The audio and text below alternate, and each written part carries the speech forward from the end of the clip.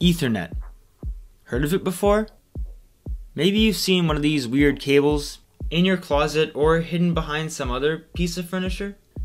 They do look a little bit weird, just sort of chilling there, and never really being out in the open.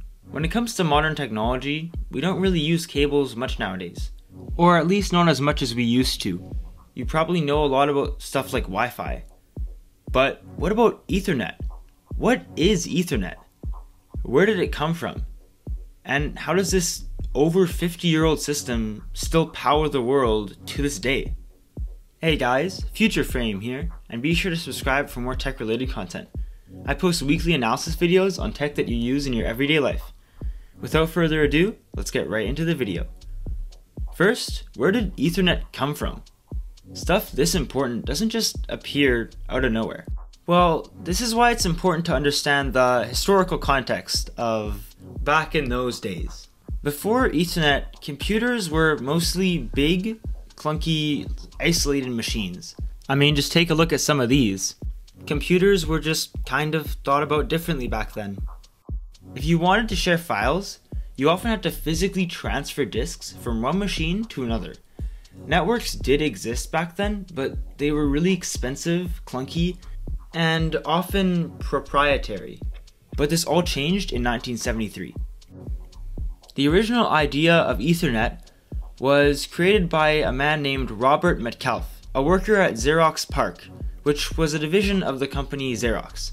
He saw the need for something better, like a faster, more reliable, and more simple way for multiple computers to communicate with each other, rather than slowly with one disk at a time.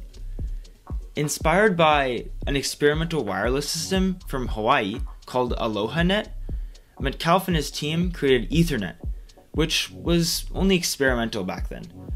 AlohaNet was an experimental technology that did about what Ethernet does today, but it used radio waves, which did mean that it was wireless. Instead of using radio waves, though, Ethernet used coaxial cables, making it wired, fast, and surprisingly clean to use. But wait a second. Wires? So we went from wireless to wires. Aren't we taking a step back? Well, you would be right if we were talking about today, but this was debatable back in the 1970s. AlohaNet was really, really slow. It transported data at around 9.6 kilobits per second, compared to Ethernet's speed of 2.94 megabits per second, making it hundreds of times faster than AlohaNet. Plus, radio waves were much less reliable back then, and you could easily lose your signal. Also, remember, this was 52 years ago. Most people preferred the simplicity of wires, and it was more easy to them, more of a second nature. So even though wireless did come back later, when we got stuff like Wi-Fi and other cellular technology, back then it was more of a downside. Technology kept evolving, and Ethernet kept improving version to version.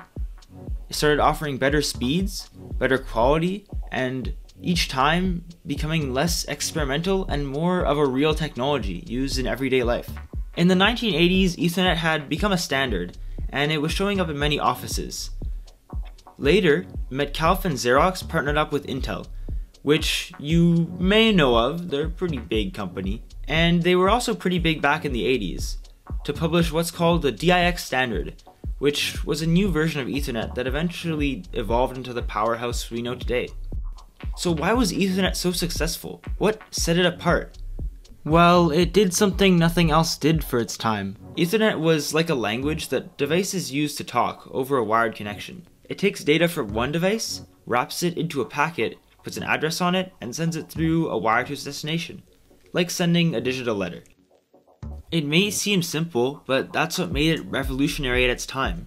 It made computers send things from one to another faster than anyone could ever imagine. Remember, people were using floppy disks to do this stuff. The internet itself was invented in 1983, which is a whole other can of worms, enough that it probably needs its own video. But it made enough of a splash in the tech world to mention it here, and Ethernet complemented it perfectly. Without Ethernet, the internet might not be the same as it is today. Every server farm, every data center, every ISP, they all use Ethernet behind the scenes. It's almost like plumbing in a skyscraper. You don't really see it, but it's what makes everything flow.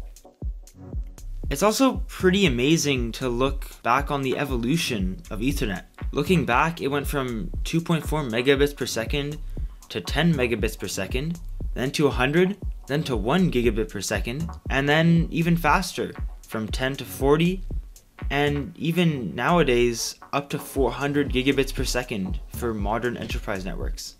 The wires themselves have also changed over time. It moved from coaxial wires to twisted pair cables, like the common RJ45 cables we use now, and eventually to fiber optics. It's really cool to see how far it's come over all these years. But then, why is Ethernet still used today? It was revolutionary back then, and the whole cable thing really worked, but why now? Why hasn't it changed to wireless? Well, the reason is pretty simple. Wireless will, I think, pretty confidently never beat wires in terms of raw speed, stability, and low latency. This is why Ethernet still exists, and why it'll likely always exist. So the next time you plug in that cable, or see one collecting dust behind a desk, just remember, that's the wire that changed it all. And without it, the internet wouldn't be the same. Hey, you made it all the way to the end. Thank you so much for watching this video. This is only the third video on this channel, but it's already gotten even more attention than I initially thought. I was expecting all of my videos to maybe get like 50 views or something. Last video getting a thousand views is actually amazing, and thank you guys so much for your support. I'll see you guys all in the next one. Peace.